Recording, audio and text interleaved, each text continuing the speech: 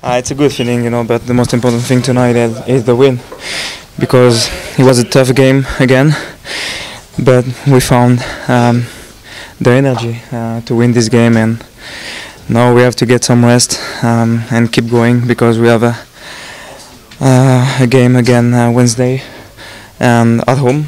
So we want to we want to win every game at home. So we'll see.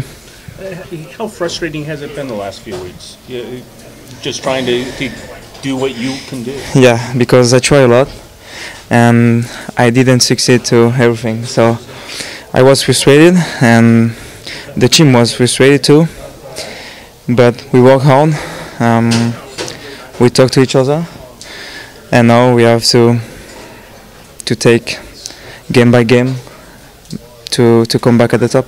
I have one last question with all that, and that's last year the team played through you because you were the guy, the only guy really to play through a lot of times. This year it's a different team, and the and it's changed in that way. Your role has changed. Uh, what has the adaptation to that been like, and how has that kind of added into the frustration? I think that's why I was a little bit frustrated um, because last year I think I touched more balls, and this year I try to be more focus when I get the ball because I don't get enough ball, I think. But when I get the ball, I try to, to beat the guy uh, in 1v1. I try to get some good cross and the finishing. So my role is, is different this year, but I try to adapt it and and tonight it was good for me. So I have to work hard to keep going, and I think I'm getting better the the, the few next week. After you, score the goal, you helped save a goal at the other end. Yeah.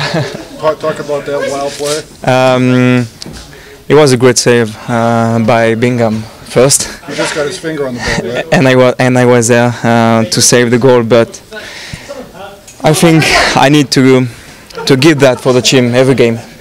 Sometimes I'm I'm tired because I think I run a lot, but tonight I give I give more for the team and it's the, the, the kind of, of player I want to be.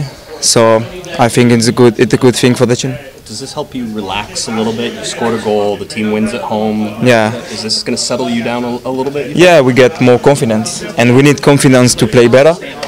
So we'll see Wednesday what's gonna happen, but I think it's a good, good, great win for the team, and we have to keep going, and we have to win the, the next game, and take game by game to come back at the top and get the playoff. That's it. Does this give you more confidence? Yeah, for me too. It's more, it's a lot of, it's important for me because I told you I, I think I miss a little bit of luck the last the last few weeks. I heard in the twice the post uh, a goal offside against Red Bulls, an assist offside uh, against Red Bull. So I was frustrated. Now I have to keep calm. I have to work on and I have to get more confidence on myself and and I think getting better. Um, I'm gonna give assist and and goal the next few weeks. I hope.